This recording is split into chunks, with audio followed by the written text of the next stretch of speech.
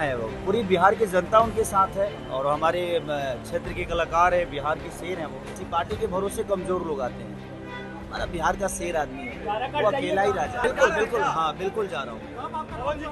बिल्कुल जा रहा हूँ। रोड शो होगा, हेलीकॉप्टर शो होगा, दुनिया का जो भी शो होगा, सारा हो जाएगा। कि पवन भैया अकेला कहाँ है? उनके पास पूरा साम्राज्य है, आज बिहार की जनता है। वो आदमी अकेला नहीं और वो अकेला ही काफ़ी है। देखिए, नेता में और बेटा में बड़ा फ़र्क होता है। पवन सिंह बिहार का बेटा है। कोई नेता बने, अलग विषय है।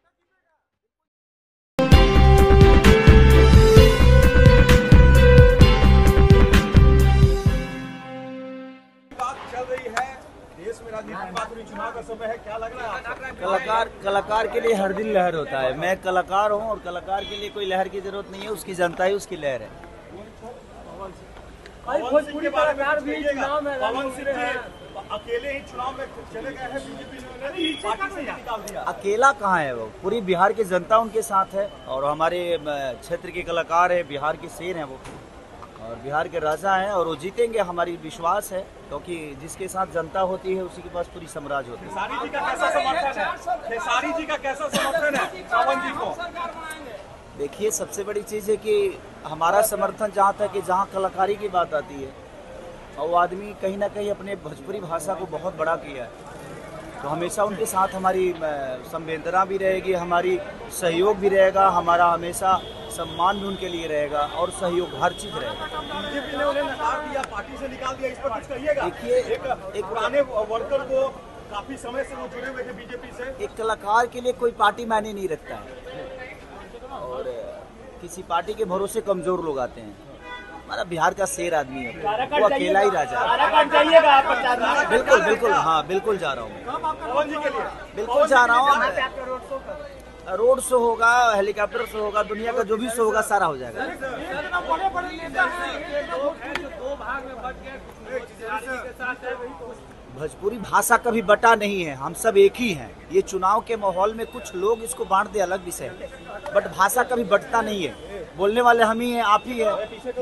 मगर मनोज तिवारी नेहरुआ सभी लोग वहाँ पे मनोज तिवारी को अकेले छोड़कर रह गए और और पवन सिंह जी को अकेले छोड़ अरे नहीं पवन भैया अकेला कहाँ है? उनके पास पूरा साम्राज्य है आज बिहार की जनता है।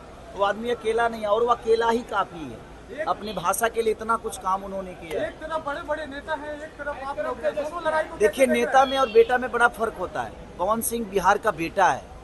कोई नेता बने अलग विषय है। बेटा जीतेगा। बिल्कुल जीतेना है उनको। जितना हैं देखिए वो हमारे लिए सम्मानित है सम्मानित है। उनका अपना काम है हमारा अपना काम है। हम अपने हिसाब से जीवन को चलाएँगे पड़ेंगे पवन सिंह जी। देखिए कौन भारी पड़ेगा कौन कमज़ोर पड़ेगा ये तो रिज़ल्ट के बाद ही पता चलेगा। पवन सिंह को जीतना है ये मैं जानता हूँ। तेजस्वी यादव मोदी। जनसभा को संबोधित कर रहे हैं और कह रहे हैं कि बिहार के युवाओं को नौकरी मिले।